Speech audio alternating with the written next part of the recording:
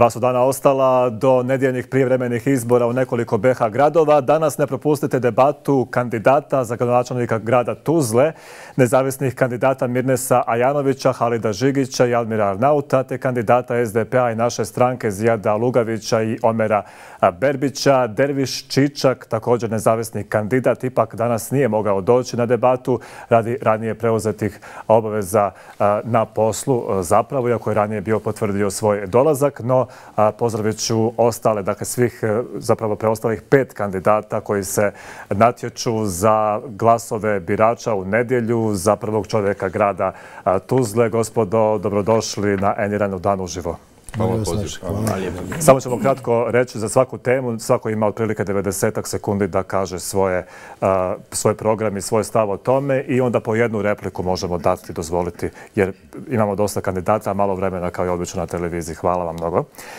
Za početak, evo, da se predstavite potencijalnim biračima, vaše obrazovanje, iskustvo u politici ili u nekom poslu, profesiji kojom se bavite. Evo, gospodine Omere, možemo početi s vama. Može, hvala lijepo. Evo ja sam Omer Verbić, kandidat naše stranke. Dvije godine sam najaktivniji vječnik u gradskom vječu Tuzla, protekle dvije godine. Obišao sam sve mjesne zajednice, radio na tome da te mjesne zajednice dobiju što bolje uslove života. I završio sam fakultet međunarodnih odnosa i politike u Briselu. Vratio se tu, ovaj, zaposlio se, odnosno samo zaposlio. Vodim, menadžer sam u jednoj firmi i trenutno sam najmlađi kandidat u historiji za gradonačelnika Tuzla. Gospodine Lugoviću. E, hvala. Ja sam Zijad Lugavić, kandidat sam Socijaldemokratske partije Bosne i Hercegovine za gradonačelnika grada Tuzle. Rođen sam 1973. godine u Tuzli gdje sam završio osnovnu školu i gimnaziju Meša Selimović. U Tuzli završavam ekonomski fakultet na univerzitetu u Tuzli na kome i doktoriram u užoj naučnoj oblasti digitalna ekonomija.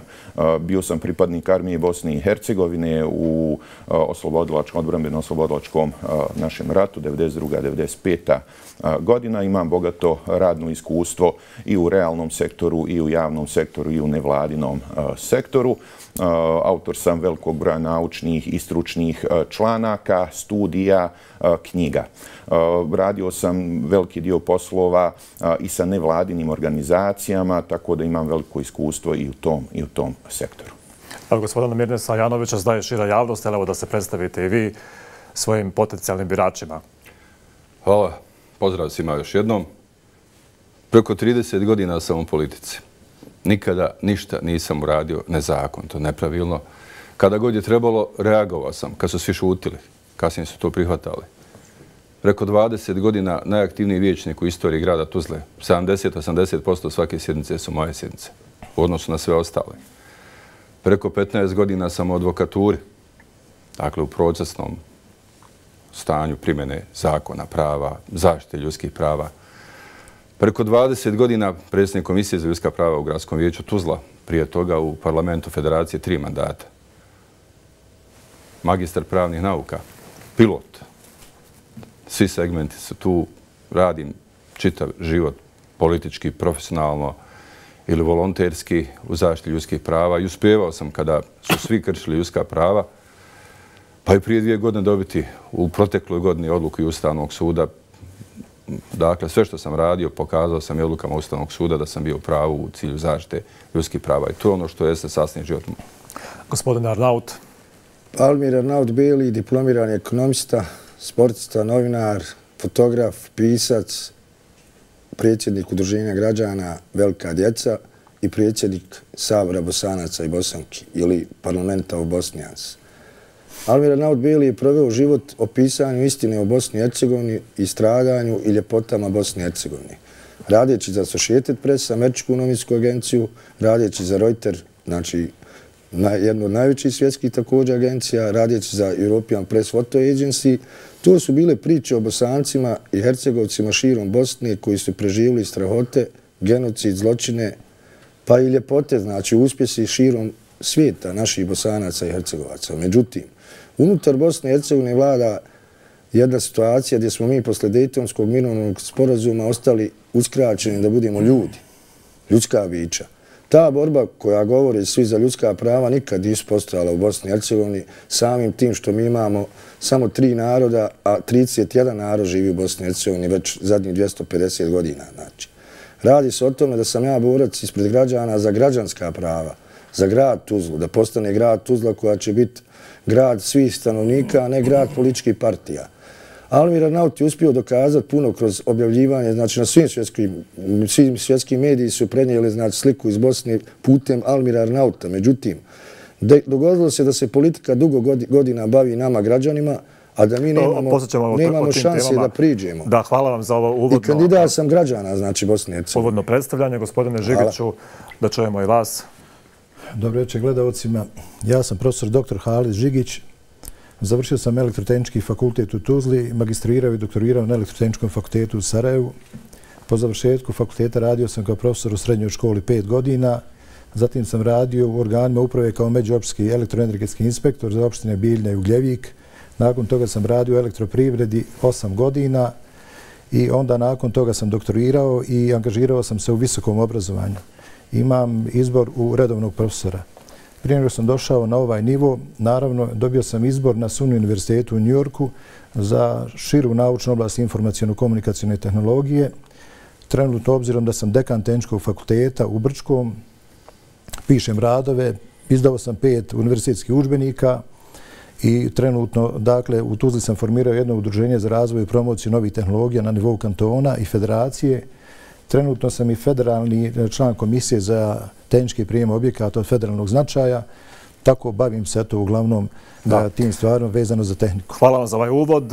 Hvala svima. E, ono što publiku uglavnom zanima jeste i koji je motiv da ste se kandidirali na ovim prijevremenim izborima lokalnim, evo konkretno za grad Tuzlu, jer uvijek građani znate kako to ide u glavama ljudi, e, zbog čega se on kandidira, sigurno ima neki lični interes, je li kandidiran da bi ukrao nekom od kandidata e, glasove, je li ga neko platio, šta se tu sve dešava, pa evo da pojasnite svojim potencijalnim biračima koji je vaš motiv da ste se kandidirali za prvog čovjeka trećeg grada po veličini u Bosni i Hercegovini. Gospodine Lugović, možete vi, evo prvi sad. Hvala vam lijepo. Dakle, to je veoma kompleksno pitanje, ali evo pokušat ću što kraćim crtama da budem koncizan, detaljan i konkretan. Dakle, zato što volim Tuzlu zato što sam e, Tuzlu branio kao pripadnik armije Republike Bosne i Hercegovine, e, zato što imam poštenje, iskustvo i znanje, zato što imam kompetencije i iskustvo u realnom sektoru, javnom sektoru i nevladinom sektoru, što je garant e, kvalitetnog budućeg razvoja naše Tuzle. Zato što imam viziju Tuzle kao razvijenog grada, grada novih tehnologija, grada, dakle sa još boljim kvalitetom, sa još boljom kvalitetom života i boljim ambijentom za privređivanje. Grada koji poštuje zajednički život i koji će nastaviti dalje graditi i njegovati zajednički život i tekovine antifašizma. Gospodine Ajanoviću. Ja ću to malo drugačije. Ja imam lični interes da budem gradonačelnik. Da bi zaštitio sebe, svoju porodicu, sugrađane, Tuzlu, pa i Bosnu i Hercegovinu. Drugačije ne možemo. Ako smo po strani, onda nismo u mogućnosti da uradimo nešto što bi trebalo. Pokazao sam da mogu i bez toga. Kad niko nije smio. Praktično sam jedini stao javno i uspio u svemu što sam radio zaštiti ljudska prava. Međutim, ti koji su donosili takve odluke protiv ljudskih prava, gdje je Ustavni sud BH 23.2. prošle godine definisao da su ozbio kršili ljudska prava, demokratske principe, sad su ponovo vlast. Jači su. Da bih se mogao suprostaviti, treba mi grad, da bi štitio grad, da bi štitio Bosnu i Hercegovinu, pa i šire. Dakle, rekao sam, pesnica otpora grada i gradonačelnika protiv svih koji krše ljudska prava. To je moj lični interes. Znam u Tuzli šta ne valja. Pokazao sam u sto video priloga. Znam zašto ne valja i znam kako to riješiti. To je grad u kojem živim. Želim ga napraviti slobodnim, sigurnim, da bude primjer svima u Bosni i Hercegovini. Moje iskustvo to pokazuje da mogu raditi. Hvala vam. Gospodine Arnaut. Motiv su imali mladi Tuzle, znači udruženje mladih sam naziv govori da su me mladi predložili. U početku je to bilo ovaj, možda malo u šali da mi imamo šanse. Danas imamo velike šanse zato što to znanje koje nosi mladost i naši, naše veze znači, koje su krenule već u zadnjih dvije godine u koroni, znači smo spojili se sa svijetom i Evropom, svim bosancima i bosankama bez obzira na te etničke i teritorijalne i vjerske pripadnosti. Mladi su tijeli da prestane fašizam koji vlada u Bosni i Hercegovini. Pogotovo u Tuzli gdje neko kaže da je Tuzla crveni grad, međutim Tuzla je grad gdje su došli svi ljudi da je pokradu, isto koji Bosnu, da uzmu nešto. Ja sam tu što sam pošten, što imam znanje, što imam iskustvo i domaći i međunarodno protiv korupcije i kriminala, nepotizma i sukuba interesa, koje sam godinama prijavljivo i krivično i sve, međutim, mi smo žrtve ili taoci svih političkih stranaka zadnjih 30 godina. Prvoborac sam rata, znači prvoborac sam, prvi sam, na rođendan 4. aprila sam otišao da branim ne samo Tuzlu, sve građane Bosne i Hercegovine. Nikad nisam doživio da ja kao mlada osoba doprinesem sa svojim fakultetom kojeg sam redovno završio, sa svojim znanjima koji su iz novinarskog posla, znači toliko ogromni da mogli smo investirati u Bosnu i Hercegovinu sve, međutim mi smo pustili da kradu, ja sam tu da budem pošten, da resetujemo grad Tuzla i da budemo primjer svim drugim gradovima kako se može poštenjem doprinijeti da ostanu mladi, da budu sportisti, da budu kulturni i da budu radnici uopšte. Mi imamo odliv mozgova već 27 godina. I to je razlog. Vaš motiv, zašto ste kandidirali? Pa dakle, moj motiv je zašto sam se kandidirao na ovim prijevremenim izborima. Tu ima više razloga. Naime, obzirom da imam ogromno iskustvo, imam ogromnu količinu znanja koje sam sticao cijelog svog života, pa i danas dan učim. I naravno, ja bih želio da pomognem svome gradu. Stojim na raspolaganju. E, ima jedna poznata narodna izreka koja kaže bogatima nas ne čini ono što uzimamo, nego ono što dajemo. Dakle, ja ako imam znanje, ako imam umijeće, ako imam iskustvo i tako dalje, ja želim to ponuditi svome gradu. Ja sam u sradi, naravno, sa mojim kolegama napisao program za izbor gradonačelnika, ali ono kao istraživača što me zanimalo jeste jedan dokument koji su napravili ljudi sa univerziteta koji se nalazi u opštini Tuzla, a to je strategija razvoja grada Tuzle. E, taj dokument je meni interesantan, ja sam ga analizirao I zašto ta strategija koja je dobar dokument koji se može ponovo proanalizirati, zašto je završio u odnosno nema njegove potpune implementacije. Kada bi se on implementirao u praksi, građani Tuzle bi živjeli puno bolje. E sad ako bi se ona realizirala dakle, u praksi, onda to znači da bismo imali neki pravac, da bismo imali nekakav zamah, da bismo imali nekakav učinak koji treba građanima Tuzle. I ja želim da Tuzla bude evropski grad. Gospodine Berbiću, još vi. Vidite, ja ovaj, kada sam se vratio i želio da uđem u politiku, bila je jedna čvrsta odluka da od politike ne želim da živim. I onda sam ušao u gradsko vijeće kao posljednji na listi, preskočio sam sve i želim da dokažem da se može drugačije raditi, transparentnije, odgovornije.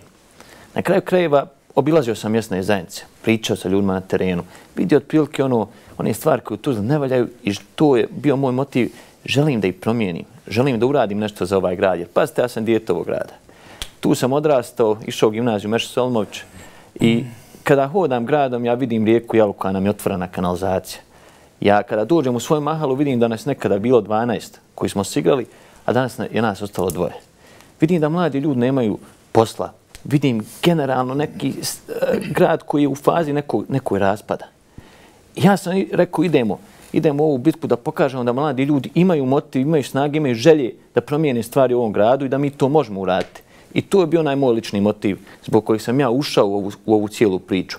Jer ono što je moja najveća prenos i on ću završiti, jeste da ja od politike ne živim, niti planiram da živim. Ja, ja želim da mom gradu doprinesem na ovaj način i da sredim stvari koje nisu do sada sređene na pravi način. Da. Mogu da repliku? Može, slobodno. može. može. Da je bilo zabune, govori se ko je bio pripadnik odbrani. Nisam želio da to ističem, to je naša obaveza bila. Ja sam četvog aprila bio. 15. maja. Gdje ste bili? Samo recite gdje ste. Teritorijalno odbrani i bio dobrovoljac. I oni koji su pokušali reći drugačije, dobili su od suda kazne za klavetu, da ne idemo dalje. Jer su pokušali i to mi montirati. A za ovaj interes lični, 15 godina sam u advokaturi. Ja neću primati platu. Hoću da budem volonterski gradonačelnik, da kompletne službe, javno osnovne prezeća, da budemo u poziciju da mogu funkcionisati bez jednog čovjeka, da ne odlučuje jedan čovjek o svemu.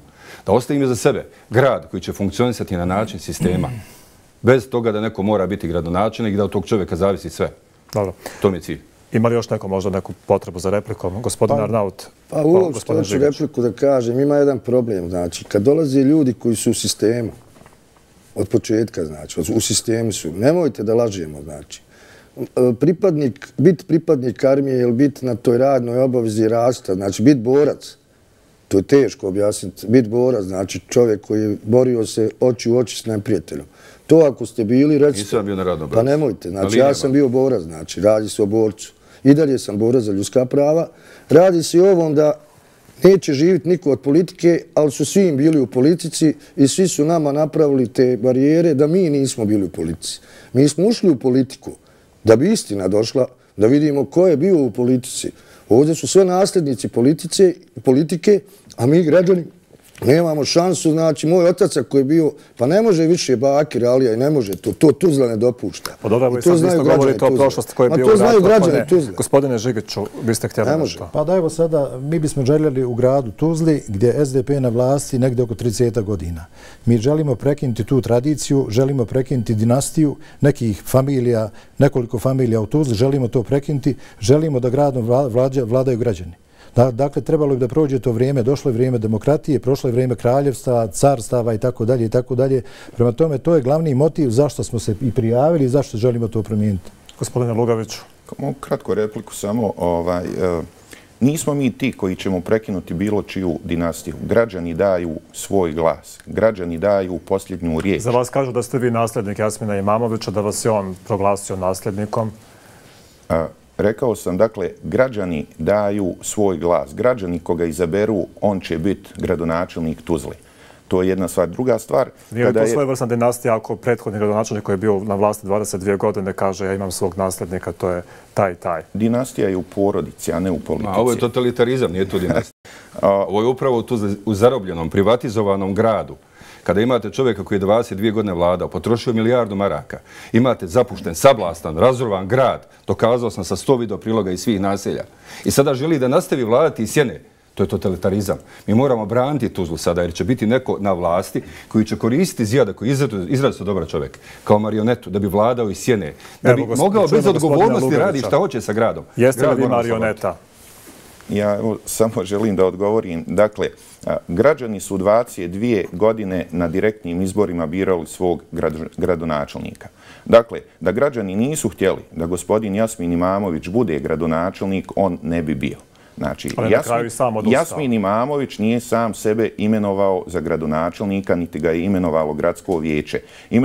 Imenovalo ga je skoro 50 pa i više posto birača koji su izašli. Dakle, građani su odlučivali i građani odlučuju ko će biti gradonačelnik grada Tuzlije i na ovim i na svakim budućim izborima. Evo, vi ste htjeli... Samo molim vas, ako samo prekidam sam bio dva, tri puta, ako mogu da završim samo još pola minute. Dakle, ja ne želim da bude ničiji advokat. Ja želim da mi predstavimo ovdje program naš prema našim građanima. Gospodine Berbić, vi ste htjeli nešto dodati. Mi smo prije dva dana imali debatu. I gro debate se svelo ono na ovo ja, tebi, ti, meni, tako dalje, predstavljanje. ja upravo ovo želim da kažem. Hajmo reći ono što mi nudimo ljudima. Hajmo reći, evo ja nudim odmah poslovnu zonu. Odmah da idemo u pravljenje poslovne zone koja će zaposliti ljude. Nudim da povećamo kvadraturu bit centra da zaposlimo mlade inženjere. Nudim da nam grad bude otvoren minimalno jednom sedmično svim građanima da mogu doći kod gradonačelnika. Nudimo da vratimo mjesnu zajednicu u funkciju i da je depolitiziramo. Ja to nudim. Ja želim o tome da pričam. Je li ima eko išta protiv ovih predloga? Omre, da li se možemo složiti večeras i nas pet? Moram reći, znate kako, ovo depolitiziranje, ljudi iz političkih stranaka koriste depolitiziranje. Mislim, nemojte, nismo mi ovdje, znači nemojte koristiti riješ depolitizaciju, a članovi ste političkih stranaka. Ošćavam se neozbiljno, znači, depolizacija. Čega? Ali ti si bio. Ne, ne, depolizacija kulture, obrazovanja, sporta, to je već nešto drugo. Hajmo Ali ovako. Ja nisam iz političke stranke, ja dolazim od građana. Samo moramo malo sažati znači, da idemo problem. sa ostalim znači, temama. Znači, totalizam Tuzle. Mi smo u ratu branili Bosnu, eto svi mi zajedno, nije bitno radne obaveze. Došli su prvi izbori, više stranački ili ne, prvi izbori. Na prvim izborima je izabran Selim Bešleg. Selim Bešleg će ostavio Jasmina, evo ovo tačno. Pitam vas sve. Jasmin je izabran u vijeću. Ne, ne. E, protuzakonito. Pazite, protuzakonito. Vrlo bitno, ali je predloženo od selima. Dobro, ja sam imamo istu više nije na čelu Tuzle, dakle moramo malo i o budućnosti. Da, to je program o budućnosti. Emo Ratu, emo Jasminu Imanoviću. Dosta je bilo Jasmina, Jasmina. Ne, da razjasnimo građanima da znaju. Dobro, evo, idemo na, na Može li samo ovo što je prekinut sam? Večera se složimo da završimo Samo kratko, molim vas, rečeno se moramo na sljedeću temu. Da vidimo. Da predložimo nešto, eto. Da kažemo šta mi mislimo. Mogu li da kažem? Ako može, hvala. Samo kratko, molim vas, rečenica, bukvalno. Da li je tačno ovo što kaže Zijad, da je grad savršen, ili je tačno da je grad u lošem stanju, zapušten, ostavljen nama građanima da se brinemo sami o njemu. Vlast ga zanemarila u brojnim rupama, u katastrofnom stanju komunalne infrastrukture, sablastan, prazan noću, poslovni prostor u centru grada ne rade, a njegov je to posao bio. Je li tačno ili nije tačno? Samo da se složimo nas ovdje četiri ili pet da kažemo u pravu su, imamo divan grad ili nije tačno, grad moramo popravljati. Grad moramo urediti da dođe do stanja pozitivne nule i onda ići da ga gradimo mnogo bolje zbog svega što su oni uradili u protekle 20 Dobro, evo, neka ovo bude tema, dakle, stanje u gradu Tuzli nakon 22 godine vladavine uh, Jasmina Imamovića i koji će biti vaše prioriteti, gospodine Lugaviću, možete vi sada. Ajde, ja, prvo, dakle, nigdje nije idealna situacija i tu ćemo se svi složiti u svakom gradu, u svakoj porodici ima problema. Mi smo svi ovdje došli da predstavimo svoj program šta ćemo uraditi da kvalitet života građana bude bolji da privrednicima bude bolji. Evo recite, konkretno, evo sad. Dakle, što se tiče privrede i kvaliteta života ovdje, hoćemo da govorimo o kvalitetu života. Govorimo sad o kvalitetu života, posle ćemo o privredi, poslovnim zonama i tako dalje. Dakle, kvalitet života je veoma, veoma značajan segment kako za građane, tako i za privrednike. U tom kontekstu konkretno ćemo realizovati veliki broj aktivnosti koje su vezane za komunalnu infrastrukturu. Popravljat ćemo dakle, e, dosadašnje stanje u saobraćaju i graditi nove e, puteve. Radit ćemo na proširenju i održavanju vodovodne mreže, kanalizacione mreže. E, radit ćemo na proširenju toplifikacije, gradit ćemo nove parkinge, jer su nam parkinzi veliki problem u našem gradu razvijat ćemo nove zelene površine i još veliki broj projekata u okviru samo komunalne infrastrukture. Dalje, kada govorimo o mladima, mladi su veoma značajni za naš grad i za, grad, i za mlade moramo realizovati također veliki broj aktivnosti. Jedan, jedna od tih aktivnosti jeste coworking prostor, gdje će IT stručnjaci i svi drugi stručnjaci dobiti besplatne prostore u koji mogu uraditi svoje biznise i realizovati svoje ideje, zajedno sarađivati i unapređivati svoje poslovanje. Podržavat ćemo poduzetništvo mladih, radit ćemo nova radna mjesta i podržavati zapošljavanje dakle, mladih. Oni nezaposlene mlade koji su na Zavodu za zapošljavanje kroz projekte prekvalifikacije i stručnog usavršavanja ćemo im dati kompetencije da budu još kvalitetniji. Doći ćemo i do mladih. Gospodine Žigiću, trebali nastaviti ovaj razvojni tok Tuzle ili imate vi neki svoj drugačiji plan? Naravno, kolega Lugavić je ovdje pomenuo da se Tuzla razvija i on kaže, govori o budućem vremenu, mi ćemo, mi hoćemo i tako dalje. Mene interesira sadašnje vrijeme i budućnost. Mi živimo u sadašnjosti, a sadašnjost govori o budućnosti. Bili ste 30 godina na vlasti, počeli ste da otvarate poslovne zone koje su danas prazne. Zašto su prazne? Zato što nema ko u gradskoj upravi da prihvati potencijalne investitore, kako vanjske, tako i domaće, kako bi mogli da otvore svoje biznise. Ljudi se okrenu, odu u susjedne gradove Živinice, Srebrnik, Lukavac, Gračancu i tako dalje, tamo razvijaju biznise. Znači, to je, to je istina. Drugo, ukinuti su stari zanati. Poslo, prostori E, koji su vlasništvo grada Tuzle u gradu. Koliko ih imate, kolega Lugaviću? koliko, koliko imate stanova vlasništvu grada, šta je sa tim poslovnim, šta je sa starim zanatima. Stari zanati su zapošljavali određeni broj ljudi. U ovoj strategiji puno toga kažem napisano, ali ako bismo puno toga iznijeli dakle na površinu, onda bismo mogli grad napraviti puno boljim, razvijenijim i tako dalje. Mi imamo viziju, mi imamo znanje, mi hoćemo, treba okupiti najbolje ljude iz onog grada i od penzionera koji su u penziji, koji imaju ogromno znanje, e, sa mladim ljudima koji su završili fakultete, obrazovani, ta sinergija između jednih i drugih može donijeti puno toga. Gospodin Arnaut, vaše konkretne mjere? Konkretne mjere su znači restart čitave gradske uprave, znači reforma jedna kroz sva preduzeća, što je jednostavno zadržavanje radnih mjesta, pošto nam treba svako radno mjesto, sigurno. Ali i otvaranje novih radnih mjesta, znači taj realni sektor koji Tuzla ima i naša pozicija u kojoj se nalazimo, mi smo znači, centralizirani od Sarajeva. I naši političari su uvijek prodavali prema Sarajevu i nismo nikad ni dobivali retroaktivno novac koji nam pripada i od termoelektrane elektroprivrede, Čak mi smo najugroženija kategorija, znači svih gradova u Tuzli, gdje pokazatelji imaju samo jednu stvar da znate. Ovo su prije vremeni izbori, vrlo jednostavno. Svi govori mi ćemo, mi ćemo. U godini i po, evo, u ovoj kratkoj godini i po, život u Tuzli, možete vi grad sa zgrade, nebodiri, možete vi uljepšati ovo sve o čemu prič, toga nema. Ljudi, ljudi nikom nisu prioritet. Ljudi. Nama su prioritet građani, prvenstveno, znači, nemamo sportski klub koji uopšte ima pionirsku, znači, ne postoji nešto u Tuzli da funkcioniše u tom političkom sistemu gdje mi nemamo pravo. Mi nemamo pravo, Znači, građani će imati 40 mjesnih zajednica u svojim rukama, imat će svoje savjete, predsjednika i znači, normalno meni ko jednom upravitelju toga svega bit će lakše zato što će svi računi biti otvoreni, sve donacije i sve tako do kraja. Gospodine Berbiću, vaše konkretne mjere? Pa evo, znači da poboljšamo konkretno kvalitet života, mi moramo gledati otprilike u tri aspekta. Jedan aspekt je sigurno komunalna djelatnost, drugi aspekt je ova ekonomija i treći aspekt je kultura i sport da poboljšali komunalne stvari, mi moramo vratiti ovlasti mjesnim zajednicama. Jer odatle dolaze sve informacije koje su rupe, e, gdje šta treba popraviti, odakle nema kanalizacije i tako dalje. Da bi depolitizirali mjesne zajednice i da, kada bi im dali budžet, mi bi taj segment dosta, dosta unaprijedili.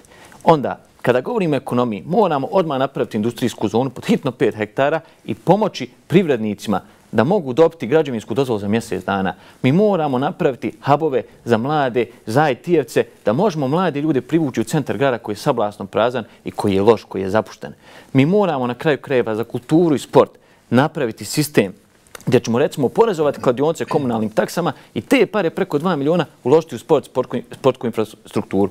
Kulturu počinu na jedan veći nivo, ali ne samo u centar grada, nego u domove kultura, izvan grada, pa pozorište, recimo pozorište mladi, dovesti u domove kulture izvan, izvan grada. Jer pazite, grad Tuzla je grad koji je poznat po tome da su ljudi iz rubnih mjesnih zajednica dobro, dobro, dobro zapušteni. Ali ljudi iz centralnih mjesnih zajednica nemaju dovoljno sadržaja, kulturnog, sportskog, bilo kakvog drugog. U tom kontekstu, da poboljšali kvalitet života, ovo su projekti koji mi moramo sistemski raditi. I to se može za godinu, za godinu i pol, samo treba imati želje, htjenja, treba neko da dođe da kaže mi to možemo, hajmo se ugledati na zapadnoevropske gradove, kako su on to napravio, prekopirati i da naš grad napravimo puno boljim ljepšim. Hvala vam, gospodin Janoviću, vaše konkretne mjere, mada ste već bili počeli govoriti, pa vas molim malo kraće zbog tog, tog vremena kojeg ste već imali. Nije mi bitno, ja mogu i najkraće. Kada sam krenuo u kampanju, da dođem u poziciju da promijenim svijest razmišljanja građana, pa same time gradske uprave, da kritikuju, traže, bolje, da traže da se popravlja, da se počnu pojavljivati. Ljudi nisu smjeli, nisu tijeli, neće da se zamjere. Konkretne mjere, evo ih, plan djelovanja, 150 tačaka, 140 i nešto više realno izvodljivi, 11 kapitalnih, to je ovo. A ovo je nastalo zahvaljujući tom hodanju sa građanima. 100 video priloga iz svih naselja, mjesnih zajednica, 100 još imam poziva, ljudi zovu. I to mi je bio cilj u politici, da ne budem sam koji će ići krčite sav put. Sad svi hoće. Sad danas u Tuzli imate situaciju, ljudi hoće pred kameru da kažu zašto ne valja, ko ne valja, zbog čega ne valja, da traže da se popravlja. Ovi 150 tačaka, svi su segmenti. Ovo sam napravio još početkom novembra. 100 je bilo.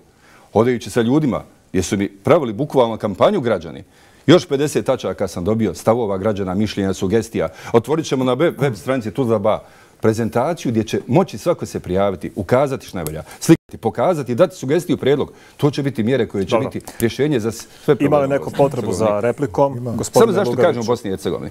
Nećemo se baviti samo tu zlom. Rješavat ćemo problem svih zakona na nivou Bosne i Hercegovine kako bi iniciranjem obezbijedili tu za sigurnije Jasno, gospodine Lugoviću. Ako mogu samo da iskoristim repliku da, ovaj, pošto je kratak stvarno prostor bio, dakle, sistemski i strateški pristup kvalitetnom životu. Tu su nam još penzioneri, boračka populacija, dječja igrališta sa posebnim osvrtom na djecu sa poteškoćama u razvoju. Uh, ovdje što kada govori kolega o poslovnim zonama, mi imamo devet u toku izdavanja devet urbaničkih dozvola za devet poslovnih subjekata koji će rad u poslovnoj zoni Kreka Sjever, mada to nije jedina poslovna zona. 150 poslovnih prostora u gradu Tuzli se izdaju, samo ih je sedam prazno i to gradski vječnici znaju da mi stalno predlažemo, malo ne svake dvije sjednice vijeća, upražnjene prostore oglašavamo da se oni, da se oni izdaju. Gospodine Žegoća, ste vi htjeli repliku? Jesam, da. Pa evo kolega Janović je pomenuo 150 mjera. Da budemo iskreni, u svakoj mesnoj zajedzi ima po 50 mjera koje bi trebao poduzeti da ljudi bolje žive. Prema tome, ako dođete i da razgovarate sa građanima svake mjesne zajednice, sve su to slični problemi. I naravno, kao, istraži, kao istraživač, zanimali smo neki podaci. Pročitao sam u jednom dokumentu u kome e, su anketirani građani, i to statistički podaci, naravno, koliko vas je zadovoljno sa vodom u gradu, sa vodosnabdijevanjem. Kao zadovoljno nas, ankete kažu negdje oko 90, 90%. Koliko sa grijanjem, kaže 45%. Šta je sa onih 55%? U ovom vijeku, 21. ljudi moraju imati vodu, moraju imati grijanje, znači moraju imati energiju. Dakle, mora imati zapošljavanje. Šta je sa mladima? Šta je sa prekvalifikacijama? Šta je sa dokvalifikacijama? Šta je sa otvaranjem ovih poslovnih zona gdje će ljudi možda se zaposliti? Kaže IT sektor. Da bi IT sektor mogao da radi, morate imati i druge aktivnosti koje će pomoći tom. Hvala gospodine Žegoć, gospodine Arnaut. U ovim situacijama koji govori da oni imaju strategije i planove, znači odmah da napomenem kao ekonomista, strategija nijedna ekonomska ne prolazi uz korupciju. Korupcija je prisutna, znači, u 21 prezeće grada i ti ona i nepotizmi, da se razumijemo, nepotizmi. To možete provjeriti, to svi znaju da u gradu Tuzli, znači, zapošljava se samo ako si familija i ako si stranačni pripadnik.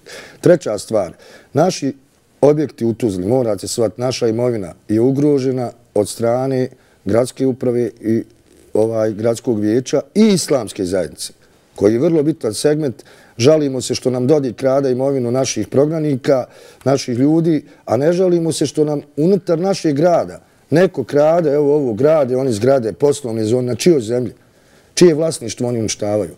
Ovdje se radi o jednom velikom kriminalu, znači ogromnom, organizovanom kriminalu, unutar, znači, opštinskih gradskih službi godinama. Pokrivene sa jednom stvari koja je vrlo potrebna Tuzli da bi ovo sve realizovali i što oni govori i što bi ja predložio.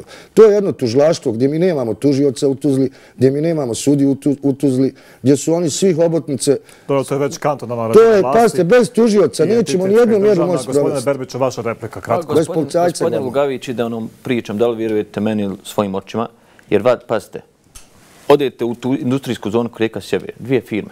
Industrijska zona je napravljena prije pet godina, ja sjećam, pretprošli izbora da su oni, hvala, imamo industrijsku zonu. Prošle godine u Živincama 20 firmi dobilo da pravi halu. Kod nas niko. Ovdje govorimo o poslovnim prostorima grada u centru grada.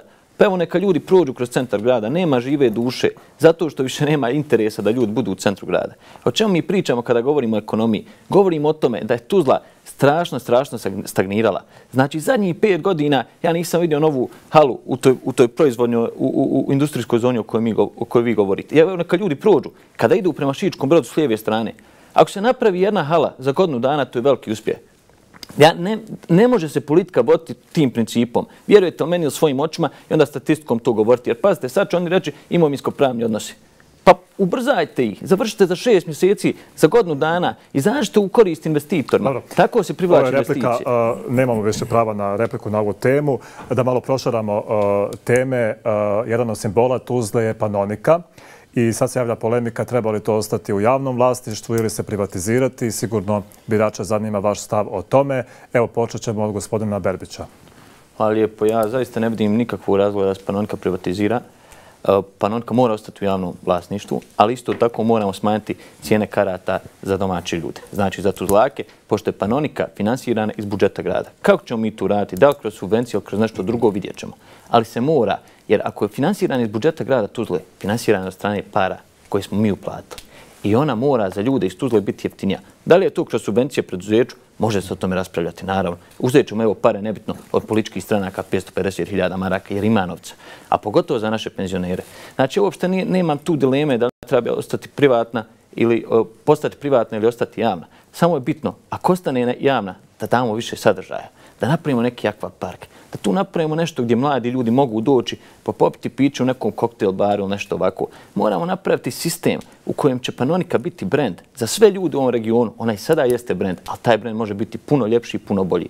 Kako to uraditi? Tako što ćemo zaustaviti jednoumlje i tako što ćemo pustiti kreativne ljude da upravljaju Panonskim jezerima. Kada to uradimo i kada pustimo menadžere i kreativne ljude, može se čudo napraviti od Panonike. I to je ona naša vizija. Da od Panonike napravimo nešto što će u cijelom regionu postati duplo bolji brend od ovog što sada jeste, iako i sada brend stvarno moram, ne smijem tu ovaj griješte duše. Gospodine Lugaviću.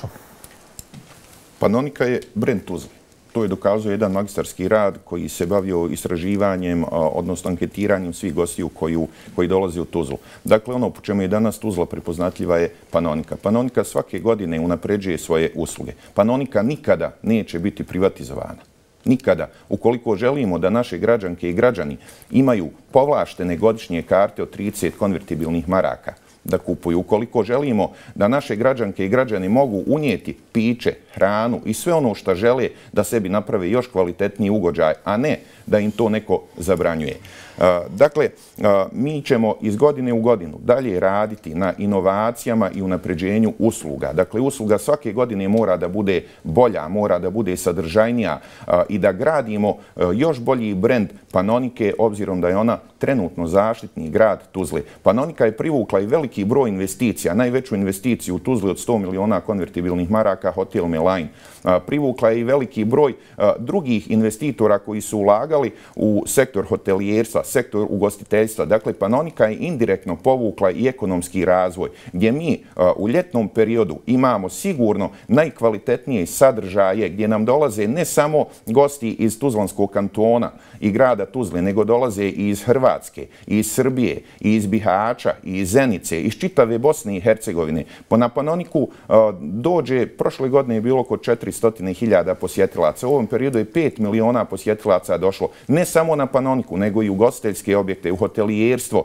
e, u trgovine naše. Dakle, indirektno se razvijaju i mali obrti, stari zanati koji prodaju. Dakle, Panonika je brend koji mi moramo čuvati i koji moramo unapređivati da ona bude još bolja, još kvalitetnija i na takav način i mladim i osobama srednje e, starosti i onim starim penzionerima, jer su oni svaki dan na Panonici po ovim povlaštenim kartima i uživaju na takav način, imaju veoma kvalitetan život, što je veoma značajno za sve građanke i građane grada Tuzli.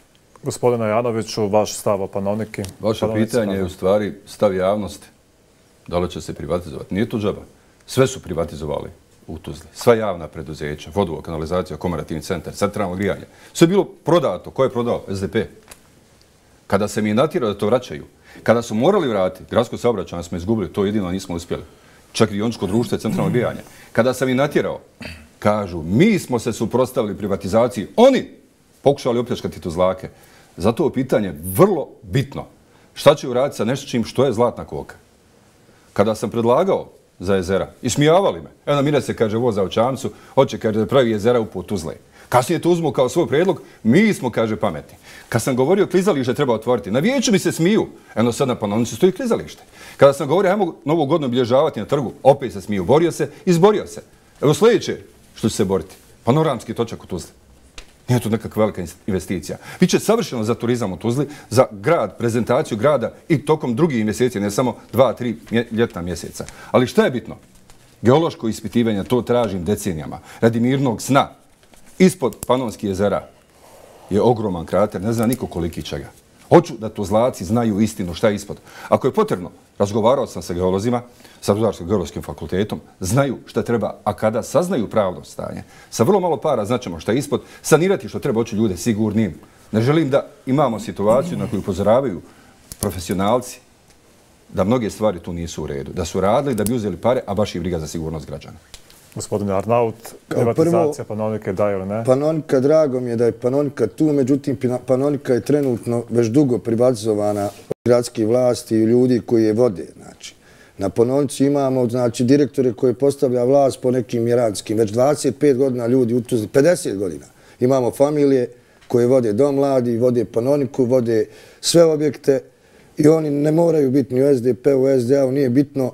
Radi se o tome da Panonika, Znači, treba takav sadržaj da privuče sve gradove. Bosne i Hercegovine također, mi smo privukli i mnoge u Evropi i svijetu, ali nemamo taj sadržaj za djecu. Znači, nemamo tu, imamo jake prijedloge. Mira, e, gljiva Mira, jednog našeg umjetnika, koji, koji je nešto predivno, znači da se napravi velika gljiva gdje bi djeca dolazila, učila, gdje bi se sve odvijalo i u toku zime i u toku ljeta i gdje bi taj prostor stvarno ja mislim, zaposlio mlade po onom šta žele tamo da drže da bi mogli zaraditi. Međutim, mi moramo pitat Majda, ja moram pitat tamo neko, to je tako u Tuzli. To je tako možda i u Sarajevu i u svakom drugom gradu. Postoje ljudi o kojim ovi ljudi ne smiju pričati. Ti ljudi su došli, znači samo odjednom on je direktor i jednog i drugog papira ako uđemo ovo geološki. Kako je neko smio potopiti uopšte Tuzlu koja je na soli vodom? O tome nisu razgovarali. Tuzla, moje, moje nasilje, vjerujte mi, moje slanica se pojavljuje. To nijemo, pravi se igralište, pravi se zgrada na dječjem igralištu. Svi šute. Niko nije ništa rekao. Marakana se zove islamska zajednica i gradska uprava. to je i panonika. Panonika je napravljena, samo da vam objasnim, panonika neće se nikad privazovati samo radi jedne stvari. Radi grunta, radi ljudi koji nikad neće, oni te ljude čekaju da pomru. Ja sam jedan od njih, ja sam starosjedlac Tuzle.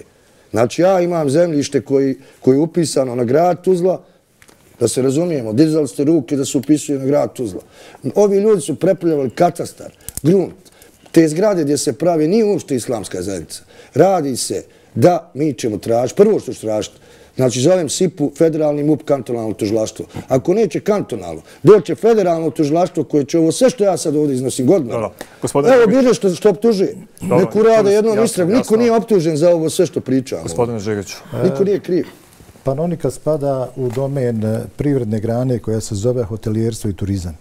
Dakle, to jeste brend Tuzle njega treba dalje razvijati. Da bismo ga mogli dalje razvijati, apsolutno slažem sa kolegama da je to već privatizirano skoro. Tako izgleda, bar građanima Tuzle u komunikaciji s njima svi tako govore na takav način.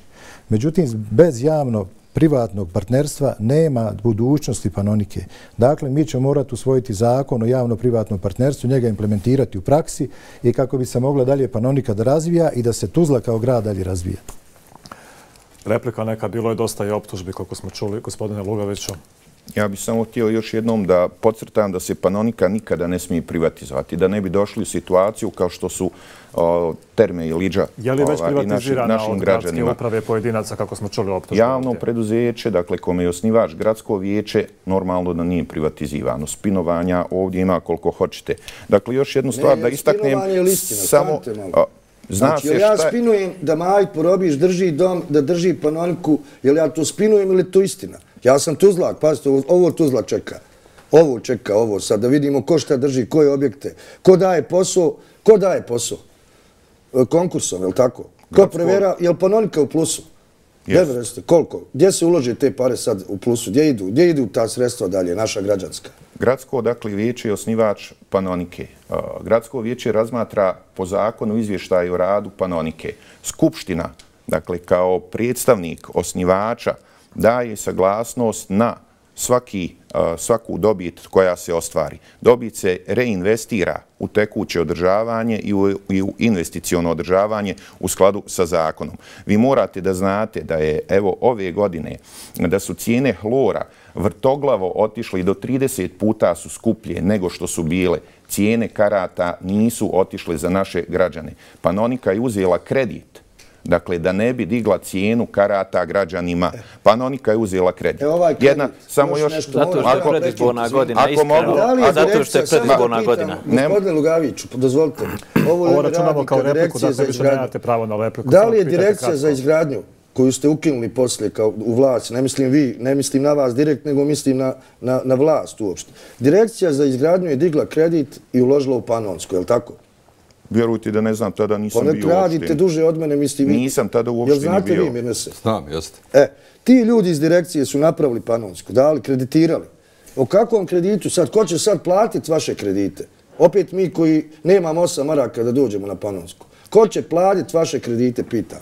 Vidite, krediti se vlač, praćaju iz prihoda. Dakle, to svi zvaju u svakom preduzeću. Panonika se prošle godine nije finansirala iz budžeta Feninga, dakle, živjela je od svojih prihoda. A zašto sad na budžetu? Panon, nije ni sad na budžetu. Dakle, ove godine je Fening Dižu nije kredit koji ćemo mi vraćati iz budžeta. Ne. Zato što je predzborna godina. Ne.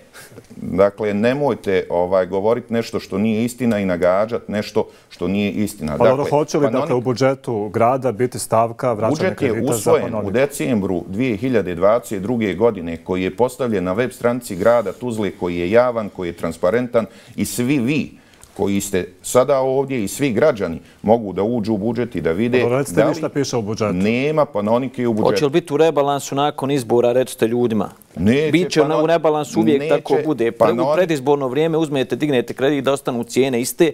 Sada imate puno penzionera, naravno, po tim povlaštenim kartama i to treba smanjiti koji kupuju zato što je predizborno vrijeme. Recite istinu ljudima.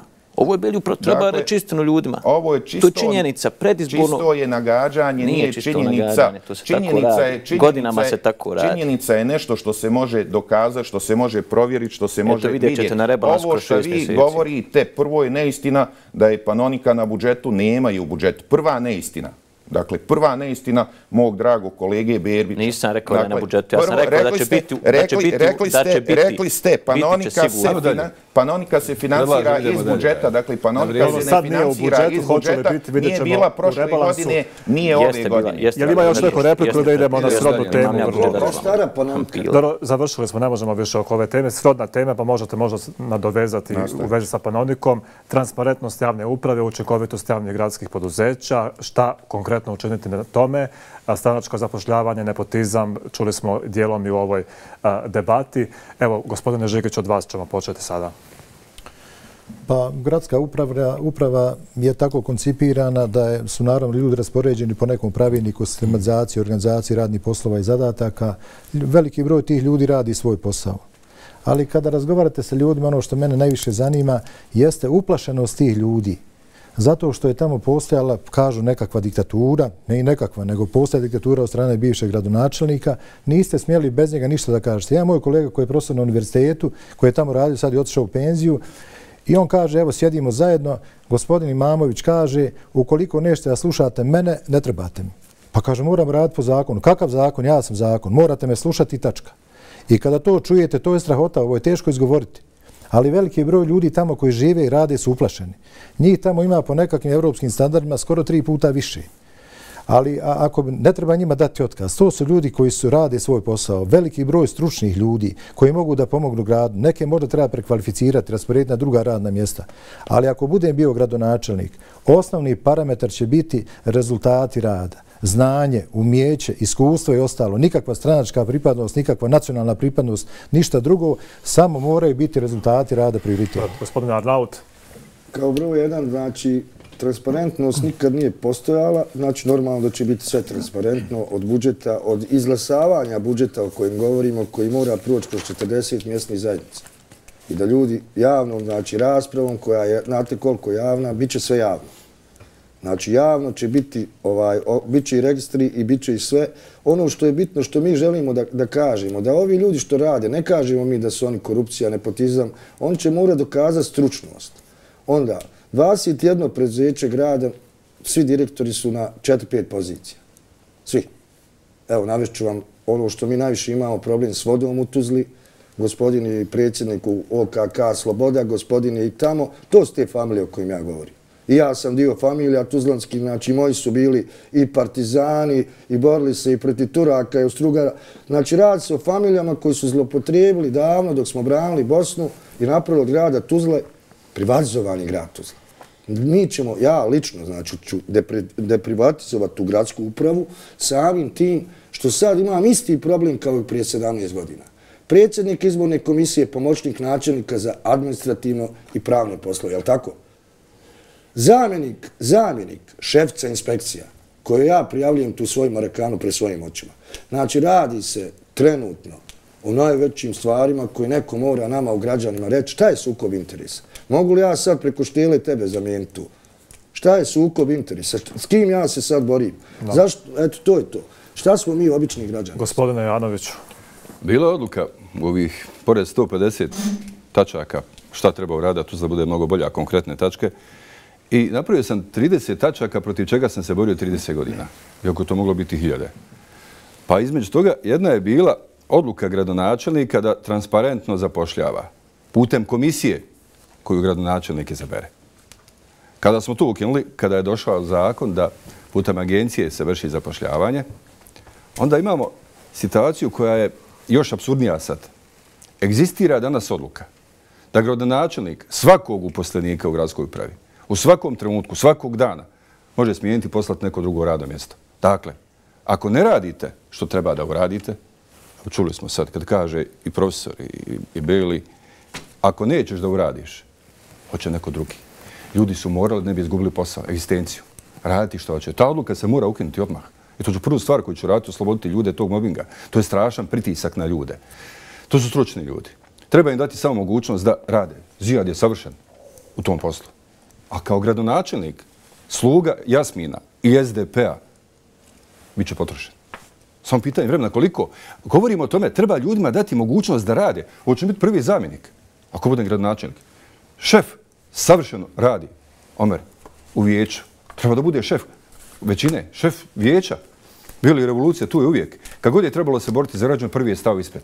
Profesor sa svim svojim znanjem, praktično ja već imam tim, ako budem izabran, koji će savršeno raditi da oslobodimo iskoristimo sve naše predloge da oslobodimo grad privatizovanog vlasništva. Da čujemo vaš stav, dakle, nepotizam, učinkovitost javnih gradskih poduzeća, transparentnost javne uprave. Dakle, ja ću evo odmah reći da situacija se uvijek može poboljšati. Dakle, upotrebom novih tehnologija i instalacijom novih softverskih rješenja ćemo sigurno i u javnim preduzećima i u javnoj upravi unaprijediti transparentnost javne uprave, unaprijediti efikasnost javne uprave, unaprijediti otvorenost javne uprave i njenu, dakle, ovaj, e, otvorenost prema našim građanima. E, kroz e, Centar 72, kada ga prebacimo na mobilnu platformu, dakle, koja će biti mobile friendly, da svaki građani može da uslika bilo koji problem i da automatski dođe prijava, dakle, ovaj, gradu Tuzli, da se može da riješi taj problem. Moram da kažem da na web stranici grada Tuzle mi već dugi, dugi niz godina objavljujemo sve javne konkurse, javne pozive, javne nabavke. Dakle, objavljujemo sve imena i prezmena uposlenika sa njihovim plaćama, dakle, snimke sa sjednica gradskog vijeća. Sve su to transparentni podaci. Budžet, izvršenje budžeta, strategiju, izvršenje strategije. Građani se uključuju u sve javne rasprave kada je budžet pitanju svih 40 mjesnih zajednica. Kod javnih poziva putem dana otvorenih vrata mi pozivamo naše građane ili privrednike, ako se o njima radi, da dođu, da razgovaramo s njima, da im približimo javni poziv, da im pomognemo da bolje... Ako dozvolite repliku, prvo, prvo, prvo, kratko, izvini, samo replika, samo da čujemo Berbića, pa onda ćemo... Samo kratko replike, moraju biti sad bukvalno 15 sekundi. Grad Tuzla, kao svaki dobar domaćin, kada dođete u firmu, mora prvo dovesti međunarodnu reviziju. U javne ustanove, javne firme u grad Tuzlu. Imamo 21 godinu autokratije faktički. Tije, međunarodna revizija mora povući ovaj liniju i reći ok, to je dobro, to nije, to nije, ovdje se ovoliko ukralo, ovdje se to uradilo. To mora uraditi međunarodna, međunarodna revizija. Dalje, nakon toga, moramo početi primati građane.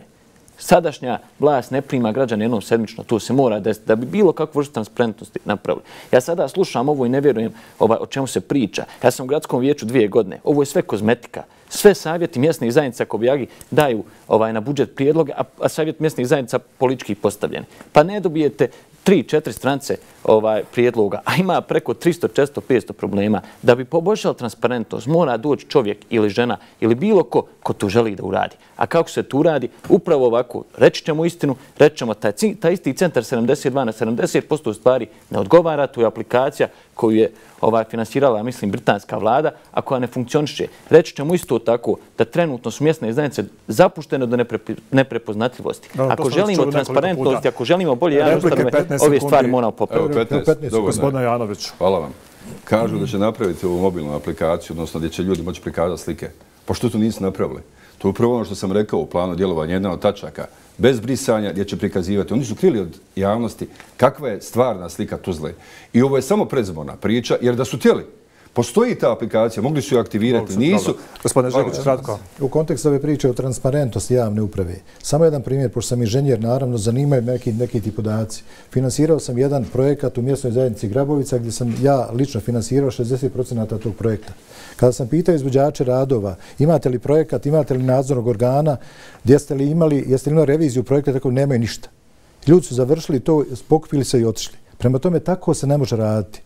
Ne može se tako iz budžeta finansirati neki projekat da nema transparentnosti. Je li to to? Samo kratko. Evo samo jedna replika. Morate znači, vrlo brzo. Imamo tačku Smart City, imamo Osijek, Bratski grad, imamo nešto slično. Eto, ništa više. Samo nek ljudi idu, nek pogledaju malo na Google šta znači to Smart City, šta znači to sad slikanje, to je 2009. Amsterdam, kad ja slikam i pošaljem. Dobro. Sve je moguće. Kratko, Luga, gospodin Lugavić, samo Veoma kratko. kratko. Dakle, e, revizija je e, zakonom propisana. Eksterna revizija u javnim preduzećima, e, federalna revizija u javnoj upravi. Federalna revizija je revidirala gradsku upravu u 2020. godini i dala za financijsko poslovanje pozitivno Dobili ste mišljenje. mišljenje sa rezervom, Za financijsko, slušajte mišljenje me, za slušajte o čemu mišljenje govori. Za financijsko Mišljenje poslovanje je jedini pozitivno mišljenje ukupno. Mišljenje sa rezervom je bilo na tom cijelom za financijsko izvještaju. poslovanje, za financijsko poslovanje, evo ga, za financijsko poslovanje e, pozitivno mišljenje jedini u Bosni i Hercegovini. Ovo što je kolega Janović ovaj, e, pričao, e, ne postoji odluka o premještanju državnih službenika, znate. Ona je definisana zakonom o državnoj službi Tuzlanskog kantona. I Dobro, znači nije a, ne i- i- rad nego kanton. I samo, još sam, samo sekundu, imali molim reviziju? vas. Jesam, Sekundu, imali su reviziju, sekundu, imali su zakon imali reviziju. repliku, ne može Sekundu, više. molim Hvala vam, vas. Imali- gospodo, ne imali su reviziju, ste mišljenje moramo sa završiti. Jednoglasno je budžet, jednoglasno je mnogo, budžet evo, građani su čuli Tuzle, vaše stavove o nekim najvažnijim temama, bilo ih i još dosta, ali zaista malo je vremena za toliko e, zapravo sugovornika da čujemo sve stavove u svemu. Hvala vam još jednom. Dakle, u nedelju su prijevremeni izbori u nekoliko gradova i općina u Bosni i Hercegovini. Čuli ste danas debatu za grad Tuzlu. Bilo je pet od ukupno šest kandidata. Gospodin Čičko se nije odazvao našoj debatije koji je prvobitno bio potvrdio svoj dolazak. Idemo kratko na reklame pa ćemo se odjaviti. Muzika